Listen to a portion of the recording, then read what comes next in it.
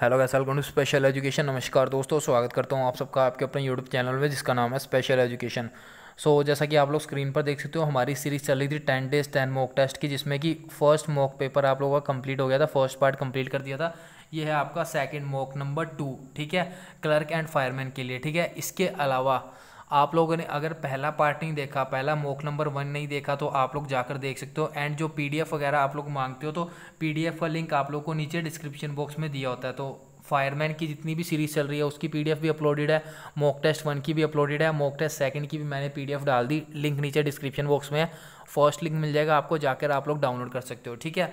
तो चलिए स्टार्ट करते हैं, बिना कोई टाइम वेस्ट किए। सबसे पहले हम लोग फ़र्स्ट क्वेश्चन की तरफ़ मूव करते हैं। एंड दोस्तों स्टार्ट करने से पहले एक छोटी सी इन्फॉर्मेशन और शेयर करना चाहूँगा।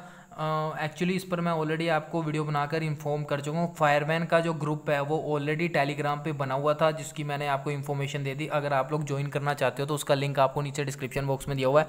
ऑलरेडी बहुत सारे कैंडिडेट्स ने ज्वाइन कर दिया। नया ग्रुप नहीं बनाया मैंने क्योंकि ऑलरेडी बना हुआ था। अगर क्लर्क का भी पहले से कोई ग्रुप बना हुआ तो आप लोग मुझे इन्फॉर्म कर देना। मैं आप लोगों के साथ लिंक शेयर कर दूँगा। नहीं बना हुआ तो मुझे इन्फॉर्म कर देना। आज आज का वेट करूँगा। कल से नहीं कल नहीं तो मैं आपको क्लर्क का नया ग्रुप बना लूँगा। सो क्लर्क के जितने भी कैंडिडेट्स हैं उसमें ज्वाइन हो सकते हैं ठीक है? तो चलिए स्टार्ट करते हैं, बिना कोई टाइम वेस्ट किए। अगर आप लोगों ने मॉक टेस्ट डाउनलोड नहीं किए, जो आपको दस मॉक टेस्ट मैंने प्रोवाइड करवाया क्लर्क एंड फायरमैन दोनों की पोस्ट के लिए तो वो भी आप लोग डाउनलोड कर सकते हो, ठीक है? तो पहला क्वेश्चन आप लोग के सामने, ये आप लोग का करंट अफेयर के सेक्शन से है। फ़र्स्ट क्वेश्चन आपको अपनी मोबाइल स्क्रीन पर दिख रहा है। Who has been sworn in as the chief minister of the Gujarat तो गुजरात के नए मुख्यमंत्री सीएम चीफ मिनिस्टर कौन बने हैं? ऑप्शन आपके सामने हैं। आप लोग अपना राइट आंसर टिक कर लो, मैं आपको इसका राइट आंसर बता रहा हूँ। इसका राइट आंसर है ऑप्शन नंबर है, Bhupendra Patel. And one more important thing आप लोग मुझे अपना स्कोर मेंशन करोगे ये वीडियो एंड होने के बाद। आउट ऑफ़ जितने भी क्वेश्चन हम कवर करेंगे तो टोटल क्वेश्चन में से कितना आप लोगों का स्कोर रहा, कितने क्वेश्चन आपके सही हुए, मुझे ज़रूर बताना, ठीक है? तो गुजरात के जो नए चीफ मिनिस्टर बने वो बने भूपेंद्र पटेल, ठीक है? अगला क्वेश्चन आपके सामने who has become the first women excavation engineer to work in the open cast mine and central coalfield limited तो सेंट्रल कोलफील्ड लिमिटेड में काम करने वाली पहली वुमेन एविक्शन इंजीनियर ये क्वेश्चन क्यों इंपॉर्टेंट होता है? ये इसलिए इंपॉर्टेंट होता है क्योंकि ये फ़र्स्ट वुमेन एविक्शन इंजीनियर बनी है। कहाँ पर? Central coalfield central coalfield limited में काम करने वाली। तो उसका आपको नाम बताना है। सो इसका जो राइट आंसर है वो है Shivani Meena. Option number D is your right answer अगला क्वेश्चन आप लोग के सामने है has been appointed as the new prime minister of the Lebanon Lebanon के नए प्राइम मिनिस्टर कौन बने हैं? तो लेबनन के दोस्तों, जो नए प्राइम मिनिस्टर बने हैं, वो बने नजीम मिकाती नाजिम मिकाटी और इसकी कैपिटल और करेंसी आप लोग मुझे डिस्क्रिप कमेंट बॉक्स में आंसर करके बताना है ठीक है? एंड जितने भी नए स्टेट्स है जितने भी नए यूनि सॉरी जितने भी नई कंट्रीज़ हैं उनके जो भी प्राइम मिनिस्टर या प्रेसिडेंट बने हैं उनको याद कर लेना स्पेशली उनकी कैपिटल एंड करेंसी भी याद कर लेना ठीक है? अगला क्वेश्चन आपके सामने who has been appointed as the prime minister of the Morocco Morocco के प्राइम मिनिस्टर आप लोग को बताने हैं। सो so, इसका जो राइट आंसर है वो है Aziz Akhannouch option number B is your right answer ठीक है? नेक्स्ट क्वेश्चन आपके सामने है who is the author of the book इसको इंपॉर्टेंट मार्क कर लेना। बुक है एक, जिसका नाम है human rights and terrorism in India book का नाम है human rights and terrorism in India इसके ऑथर कौन बने हैं? ठीक है? ऑप्शन आपके सामने है, इसका राइट आंसर आप लोगों को बताना है। सो इसके जो ऑथर बने हैं, वो बने Subramanian Swamy option number B is your right answer ठीक है? इंपॉर्टेंट बुक है मार्क कर लेना। तो अब आते हैं हम लोग कंप्यूटर के सेक्शन पर। कंप्यूटर के काफ़ी ज़्यादा क्वेश्चन आपको आते होंगे ईजी लग रहे होंगे। क्यों? क्योंकि ऑलरेडी मैं आपको बहुत सारी वीडियोस प्रोवाइड करवा चुका हूँ कंप्यूटर की। अगर आप लोगों ने वो वीडियोस नहीं देखी तो ज़रूर एक बार एग्ज़ाम से पहले गो थ्रू हो लेना उन सब वीडियोज़ से। तो कंप्यूटर का पहला क्वेश्चन आपके सामने है। Computer monitor is also known as जो आपका कंप्यूटर का मोनीटर होता है, कंप्यूटर की स्क्रीन होती है मोनीटर होता है उसको आप लोग और क्या कहते हो? उसको कहते हैं हम V D U option number C is your right answer और वी डी यू की फुल फॉर्म क्या होती है? ये आप लोग जो बताओगे कमेंट बॉक्स में। अगला क्वेश्चन आपके सामने arrange in the ascending order of the units of the memory terabyte kilobyte gigabyte और मेगाबाइट इन सारी मेमरीज को आपको असेंडिंग ऑर्डर में अरेंज करना है। असेंडिंग ऑर्डर मतलब असेंडिंग ऑर्डर मतलब कि बढ़ते हुए क्रम में। सो so, इसको आपको अरेंज करना है ठीक है? तो इसका जो राइट आंसर होगा वो होगा option number option number C, ठीक है? पहले आएगा किलो बाइट देन आएगा मेगा बाइट देन आएगा गीगा बाइट देन आएगा टेरा बाइट ठीक है? पहले आएगा के बी फिर इससे बड़ा है मेगा बाइट एम बी फिर इससे बड़ा है गीगा बाइट जी बी फिर आएगा टी जो आपका टेरा बाइट होता है। ये होगा आपका असेंडिंग ऑर्डर ठीक है? So option number C is the right answer अगला क्वेश्चन आपके सामने which one of the stores more than a D मतलब डीवीडी से ज़्यादा डेटा इनमें से क्या चीज़ है जो स्टोर करती है? C D ROM floppy blu ray disc या red red ray disc option आपके सामने और इसका जो राइट आंसर है वो है blu ray disc option number C is your right answer जो कि डीवीडी से ज़्यादा डेटा स्टोर कर सकती है. अगला क्वेश्चन आपके सामने है eight bits make up a dash जो आठ बिट्स होती है, वो किसके बराबर होती है? सो आठ बिट्स मिलके आपका एक बाइट बनाती है. One byte equal to eight bits होता है. अगर एग्ज़ाम में पूछा जाए कि वन निबल किसके बराबर होता है? सो वन निबल ये इंपॉर्टेंट क्वेश्चन है काफ़ी टाइम पर पूछा गया। तो वन निबल दोस्तों आपका फोर बिट के बराबर होता है। और एग्जामिनेशन में इसका उल्टा भी पूछा जा सकता है कि फोर बिट बराबर कितना होता है? So four bit equal to one nibble होता है ठीक है? सो so, अगला क्वेश्चन आपके सामने which one of this also known as the read write memory इनमें से कौन सी आपकी रीड राइट मेमरी है?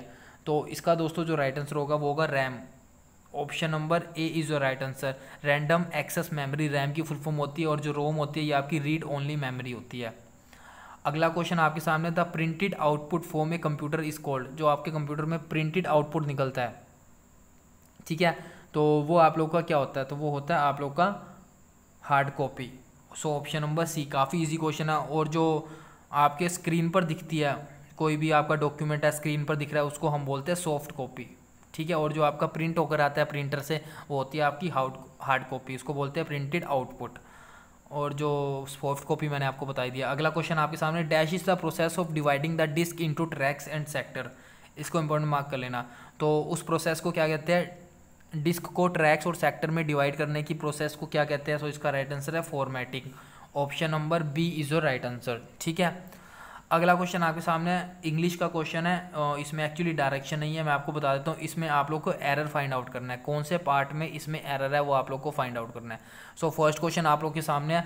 The teachers scolded him always because he rarely reach school on time teacher हमेशा उसको डांटता है क्योंकि वो मुश्किल से ही टाइम पर स्कूल आता है। ठीक है? मतलब टाइम पर स्कूल तो आता है बट मुश्किल से टाइम पर पहुँच पाता है। हमेशा लेट आता है।